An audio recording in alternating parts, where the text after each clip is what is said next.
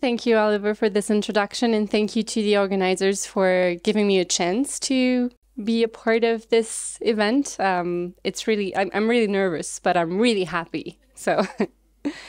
Um, all right, so my presentation today will focus on the way citizenship was presented as a goal for education prior to the Indian Citizenship Act by, on one side, white reformers of the federal Indian school system, and on the other side, by indigenous intellectuals and especially um, activists gathered uh, in the Society of American Indians.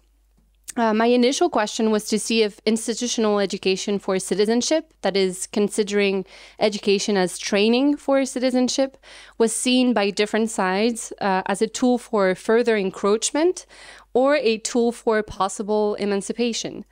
Um, and throughout this presentation, I intend to address several related questions. Was citizenship also a goal for mainstream education, um, as well as Indian education? If yes, what did citizenship mean for the different sides? Um, what did the Society of American Indians have to say about citizenship and the role of education? And finally, I'll conclude with an brief a brief overview of what happened after the passage of the act. So the first uh, Indian schools that were created in the colonies that would later form the United States were mostly uh, built by religious institutions.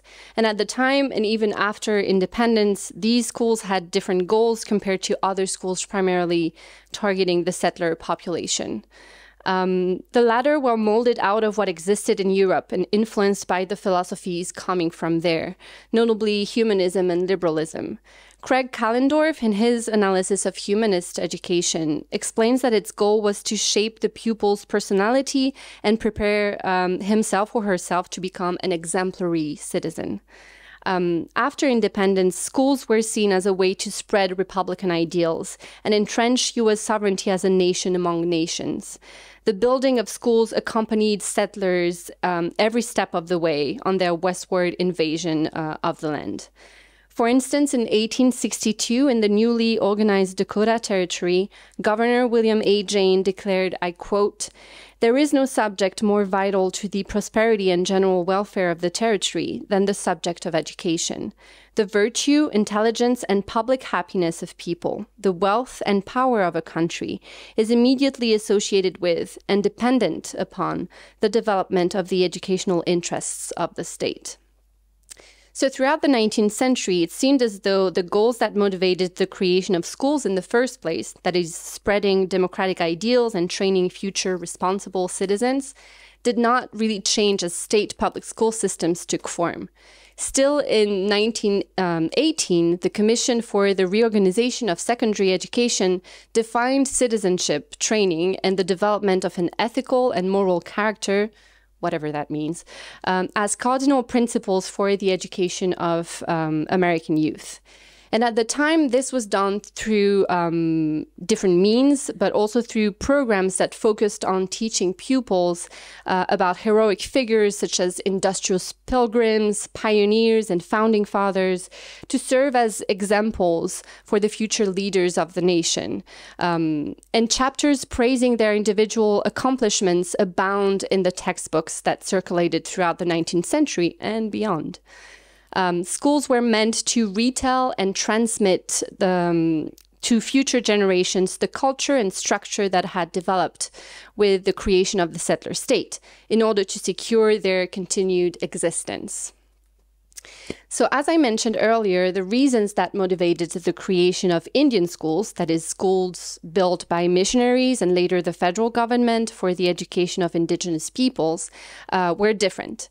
Indeed, the missionaries that endeavored to educate indigenous youth in the colonies and for most of the 19th century were motivated by the conviction that indigenous people and their cultures and ways were inferior and needed um, to be led towards salvation and quote unquote civilization through a process of assimilation. Originally, citizenship was not listed as a goal for Indian um, education, and it was not even a clear goal for federal Indian policy at all. In the annual reports of the Commissioner of Indian Affairs, it seems as though calls for citizenship followed the advance of colonization, which makes sense. Um, so, colonization on the ground. So, different timelines and debates existed depending on the region. But in general, Indian citizenship gradually became a reality after the Civil War, uh, when most of the continent um, had been explored, annexed, or invaded. The federal government then established its policy of conquest by kindness. That's the peace policy, um, as it could not afford to wage costly wars anymore, putting the transformation, usually by force, of indigenous people into white like members of society at the center of its efforts. So, for instance, the governor of Dakota Territory wrote in 1867 that he hoped that, I quote, the condition of the red man may be rapidly improved by means of civilization, education, and Christian influence, until he is brought up to the full stature of a man and an American citizen, enjoying not only rest from further encroachment and persecution, but perfect equality with all others before the law. So we can clearly see here how education was apprehended as being necessary to the success of citizenship. In turn, citizenship was presented as an alternative to oppression um, and land theft, since it would, in his mind, inevitably grant indigenous people the same rights as any other citizen, among which would be the protection of private property. Of course, this logic did not take into account the concept of communal use of the land as a form of legitimate right, uh, and depriving indigenous people of that would, in a way, deprive them of parts of their sovereignty. But what the reformers of Indian policies sought to achieve through this quest for uniformity was actually the erasure of indigenous claims to the land, of their ways, of their existence as indigenous people. In 1875, uh, J.G. Hamilton, Indian agent at Sisseton Agency, wrote, I quote, the necessary outcome of the policy of the Board of Indian Commissioners is that the Indian develops gradually into a citizen of the United States Essential to this is an abandonment of tribal relations and dealing with them as persons, not tribes or bands, or in other words, individualizing them. You must educate to accomplish this, for how else can you awaken the sentiment and develop the elements of nationality?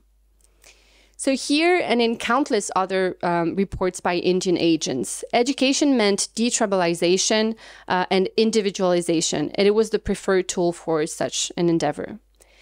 By the end of the 19th century, citizenship became a clear goal for the education of indigenous pupils nationwide, matching in that sense the goals of public schools, conformity, and the training of a patriotic and ordinate citizenry. But of course, for indigenous pupils, that also meant uh, having to abandon their own distinctive cultures and ways, because citizenship was believed to be incompatible with tribal affiliation or even indigeneity. As Commissioner of Indian Affairs Thomas J. Morgan stated in 1892, I quote, citizenship accompanied by allotment of lands necessarily looks towards the entire destruction of the tribal relation. The Indians are to be individualized and dealt with one by one and not en masse. Hence, schools were organized around this idea of detribalization. Um, on and then off reservation boarding schools were built to try and isolate children from their communities. They were not allowed to speak their own languages, practice their religion, wear their own clothes. We, we all know here the severe treatment uh, that children had to endure in those institutions. Um, that reshaping was total, and it can also be seen through the ideas that were taught in those schools. Um, in 1891, 30 years before the actual granting of citizenship to all, Thomas J. Morgan reported that, I quote, special attention is paid in the government schools to the inculcation of patriotism. The Indian pupils are taught that they are Americans, the government is their friend, that the flag is their flag, but the one great duty resting on them is loyalty to the government, and that the foundation is led for perpetual peace between the Indian tribes in this country and the white people. So, not only did Indian schools uh, endeavor to teach students how to be good, patriotic citizens, even before they were actual citizens, uh, but they also taught that American citizenship was superior.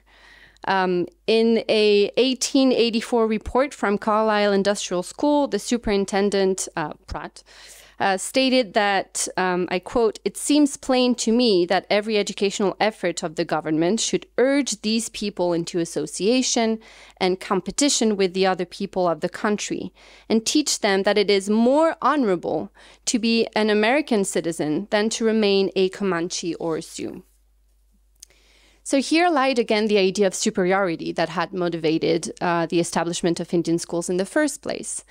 Besides, it also matched the general view that was promoted in public schools across the nation, that was meant to instill pride and patriotism in the minds of young Americans and longing for citizenship in the hearts of immigrants. This, this idea that, you know, being American is the greatest thing that you can be in the world, sort of. So, citizenship in the minds of reformers was seen as a final step that would represent the complete absorption of the indigenous other uh, into US society. And education was seen as a way to reach that goal. After that, the quote unquote Indian problem would not exist anymore, according to those people, because indigenous people would have become American citizens. Uh, in that sense, US citizenship did not seem to be compatible with indigenous existence and sovereignty. In the minds of white reformers, citizenship necessarily meant a form of recognition of US legitimacy and US sovereignty, and thus the relinquishing of tribal affiliations and indigeneity. They could not coexist. Nope, still have stuff here. On the other hand, uh, indigenous intellectuals were split and, and, activists were split on the question of citizenship. Some believed that it was uh, better than the wardship system that existed. Others uh, saw it as a new form of control. Um, my focus here is on the writings of members of the Society of American Indians who primarily advocated for citizenship.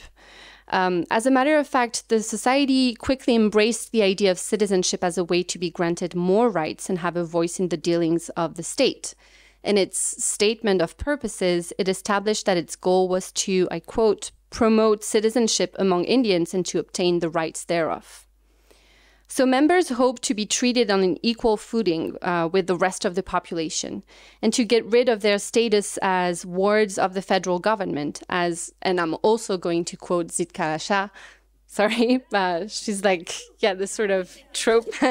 but she wrote in, in um, 1921, um, I think in, it's in her essay, America's Indian Problem, uh, she said that the wardship is no substitute for American citizenship.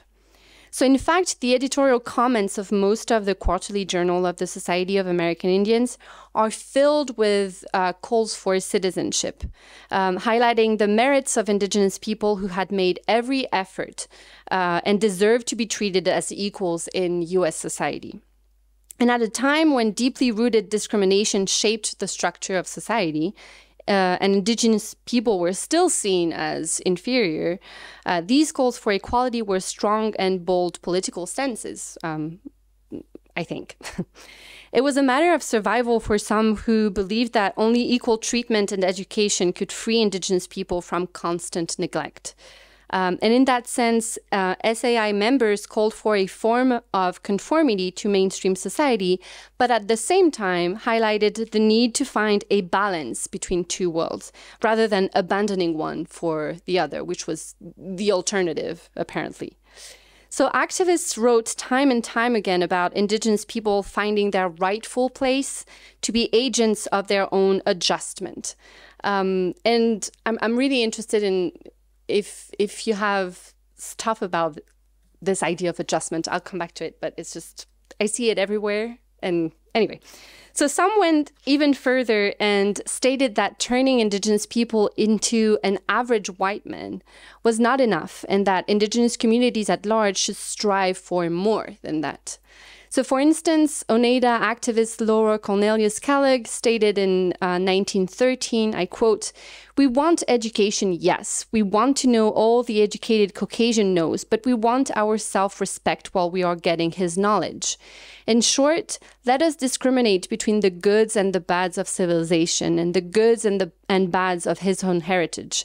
Weed out as many of the bads as we can and send him along the way a finer type of citizen than if we turn him into a very average white man just to have him white in culture.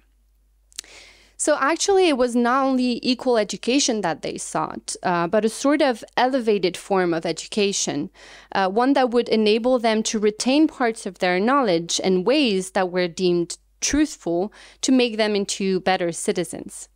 So there was here no inherent superiority uh, to uh, white culture over indigenous cultures and ways, but an equal treatment of each culture. In that sense, this approach differed from that of white reformers at the same time, who did not take into consideration the contributions uh, that indigenous knowledges could make to American society. Here, there was no need to detribalize uh, to be worthy of citizenship, but tribal elements could actually benefit society at large. Um, citizenship was not necessarily seen as being opposed to indigeneity. Uh, in her article entitled The Mutuality of Citizenship and Sovereignty, the SAI and the Battle to Inherit America, uh, Tsianina Lomawaima writes that SAI members were fighting for what she calls an inheritance. Uh, that is to say, a respected place in modern society that remained connected to their indigeneity and tribal affiliation. So, to do so, many members of the SAI um, relied on a strategy of adjustment, not assimilation, as we said um, earlier. Indeed, their writings are filled with references to this idea of adjustment. Uh, Charles Eastman, for instance, uh, in his article, The Indian in School, predicted that indigenous people would soon adjust themselves, themselves to the requirements of the new age and contribute, a quote, to the modern development of the land of their ancestors. Likewise, Arthur C. Parker stated, I quote, The Indian, no, does not need to be whitewashed or whitemanized. He needs an opportunity to develop along his own lines of individuality so far as these are consistent with modern environment. And remember, we are not the bleached out, devitalized, enervated, de Indianized Indian or the new Indian, but the same old Indian adjusted to modern environment. Sounds like a poem almost.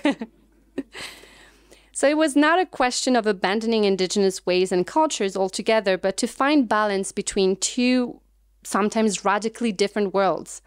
And for some indigenous activists, citizenship was seen as a way to possibly reconcile the two by recognizing indigenous people as being on an equal footing uh, with the rest of the population rather than remaining wards under paternal authority uh, of the federal government. So, citizenship could be seen as a form of emancipation, and ideally, education was there to prepare them for that. Uh, in that sense, many advocated for the inclusion of indigenous cultures and achievements into the curriculum. Uh, Angel Decora, who taught Indian arts at Carlisle, believed that this inclusion of indigenous knowledge in school showed that indigenous people were, I quote, ready to adapt their Indian talents to the daily needs and uses of modern life, and to leave their own artistic mark on what they produced. Likewise, Luther Standing Bear uh, called for a double education of indigenous youth by giving back, I quote, to Indian youth all, everything in their heritage that belongs to them and augment it with the best in the modern schools. So, hence, we can see here um, how the point of view of many indigenous uh, intellectuals differed from the ideas of white reformers. While the latter advocated for detribalization and complete assimilation to be worthy of citizenship, that is, a citizenship in opposition to indigeneity, Indigenous activists envisioned citizenship as a way to be treated as equals, uh, to actively participate in the affairs of the state, and to be able to find a balance between two worlds that would be complementary. Education was seen on one side as a detribalizing machine and on the other as a potential tool to create pathways between two worlds. And so, this is one of the reasons why many activists advocated for the passage of the Indian Citizenship Act. Uh, but which way did education go after the passage of that act? So I'll conclude with that. Um, the ICA was quickly followed by a massive transfer of Indigenous pupils into public schools. Uh, in 1930, out of the 90% of Indigenous children being in school, half of them were already in public schools. Uh, and this number rapidly grew in the following decades. So, as you can imagine, programs in such schools remain deeply entrenched in the general idea of the superiority of settler contributions to the fabric of um, the settler state. In my PhD dissertation, I analyzed the contents of history programs more specifically uh, to try and understand the images and ideas that were taught to Indigenous pupils in those schools. And in the 1920s and and 30s, America's children were taught that when European settlers arrived, I quote, the land was but thinly populated uh, which negated the existence of hundreds of complex societies on the continent. Examples such as this one abound in the literature and the official reports of the time, showing that the hopes of indigenous activists, you know, that indigenous contributions would be recognized and celebrated, were not given a place in schools across the nation yet. Uh, even more than that, the history textbooks that were used at the time usually depicted indigenous people as being counterexamples of courageous, industrious pioneers.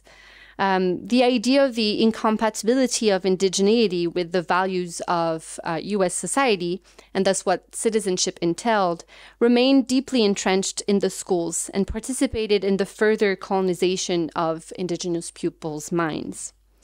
Besides, these racist depictions could, in some instances, fuel resentment among the white population, which further antagonized indigenous people. For instance, in R.W. Crochar's 1934 report, The Problem of Educating the Sioux Indians in South Dakota, he stated that white people in the state kept, I quote, a prejudice against the race and feared that indigenous pupils and their diseases would affect their children. So not only was the general population usually taught that its heroes had fought against indigenous nations, uh, but also that indigenous people lacked the qualities that made them good citizens. Despite the hopes of many Indigenous activists, the incorporation of Indigenous people as equal citizens into mainstream society led to a form of acceleration of assimilation of Indigenous pupils in public schools. And their perspectives, histories, and contributions were not regarded as worthy of interest. However, I don't want to end on that really sad note. Um, the indigenous voices that arose at the turn of the century did find some echo. In the Meriam report that we mentioned, one could read that Indian education needed a change of point of view. Uh, it recommended adapting programs and methods to the specificities of each indigenous nation, to recruit indigenous teachers, and to protect the link between pupils and their community.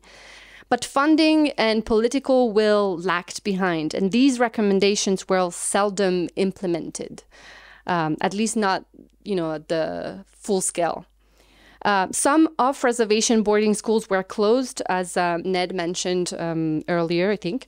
Um, community day schools were built, and attempts at implementing bilingual textbooks across the nation, such as the Indian Life series, were put in place.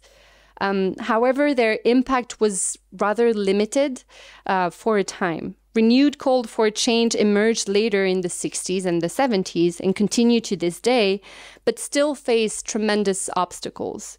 Uh, initiatives such as the publication of culturally, culturally relevant programs, the building of immersion schools, the charter schools movement are all part of I think the legacy of those initial attempts at theorizing this idea of adjustment and understanding which place Indigenous people hold in the American citizenry and what role should be given to education. Thank you for your attention.